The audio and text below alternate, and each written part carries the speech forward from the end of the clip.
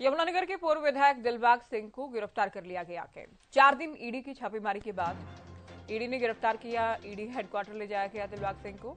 तो दिलबाग सिंह को टीम अपने साथ ले गई है। दिलबाग सिंह के ठिकानों से पाँच करोड़ की नकदी बरामद की गई थी। अवैध हथियार बरामद किए गए थे। विदेशी शराब की बोतलें भी भारी मात्रा में जब्त की गई। दिलबाग के खिलाफ प्रताप नगर थाने में दो मामले दर्ज कर लिए गए हैं। तो बड़ी खबर आपको बता दें, यमुनानगर से इनेलो के विधायक रहे हैं दिलबाग सिंह।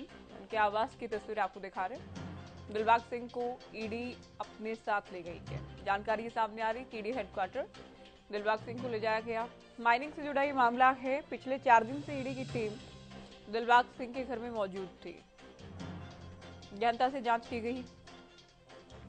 अवैध हथियार बरामद किए गए, विदेशी शराब बरामद की गई। करीब पाँच करोड़ की नकदी भी जब्त की गई। और अब दिलबाग सिंह को अपने साथ ले गई है ईडी टीम